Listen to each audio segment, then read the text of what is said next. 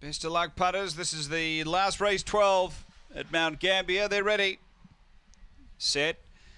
On their way, speed, Gypsy Shane down near the inside. Genray Mazeltov out quickly soon after took the lead. Chelsea Road got to second, two off the top. Three away came Mia Crazy. Uh, then came Gypsy Shane, who's back at the end, off the back. And the leader is Genray Mazeltov out by a length and a half. Chelsea Road, a big gap away, Mia Crazy. And then Gypsy Shane, Genray Mazeltov in front. Chelsea Road trying hard, but Genray Mazeltov has beaten Chelsea Road. A big gap away, Mia Crazy. And Gypsy Shane was back at the end. The time here is around 23 and 70.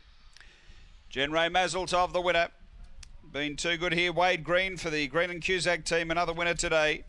A uh, Blue Dog, February 2016. Blue Lorien, Path to Hope. Number two, uh, second to eight Chelsea Road, who made a bit of a race of it uh, in second spot. Number eight, uh, Paul Tumer, a Black Bitch, January 2016, Oaks Road and uh, out of uh, Corborn,